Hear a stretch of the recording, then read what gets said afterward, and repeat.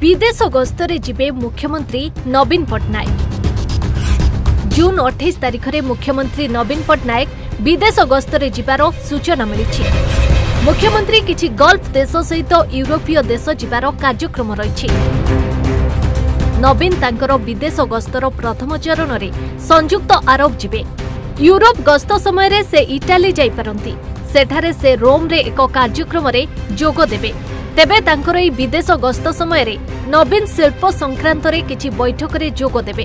ଓଡ଼ିଶାରେ ପୁଞ୍ଜି ବିନିଯୋଗ ପାଇଁ ବିଦେଶର ଶିଳ୍ପପତିଙ୍କୁ ଆକର୍ଷିତ କରିବା ଲାଗି ମୁଖ୍ୟମନ୍ତ୍ରୀ ସେଠାରେ ଆଲୋଚନା କରିବେ।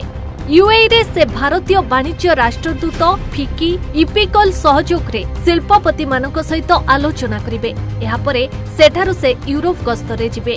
ମୁଖ୍ୟମନ୍ତ୍ରୀ ହେବା ପରେ ନବୀନଙ୍କର ଏହା ହେବ ଦ୍ୱିତୀୟ ବିଦେଶ ଗସ୍ତ। ଏହା ପୂର୍ବରୁ ନବୀନ ଦୁଇ ହଜାର ବାରରେ ୟୁରୋପ ଗସ୍ତରେ ଯାଇଥିଲେ। ତେବେ ସେତେବେଳର ଗସ୍ତ ବେଶ୍ ହଟଚମଟ ସୃଷ୍ଟି କରିଥିଲା।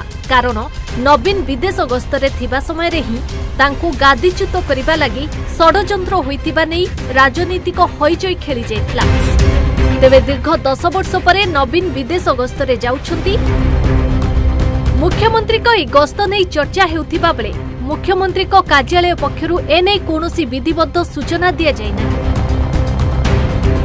ଭୁବନେଶ୍ୱରରୁ ଆଶିଷ କୁମାର ରାଉତଙ୍କ ରିପୋର୍ଟ ଓଡ଼ିଶା ଭାସ୍କର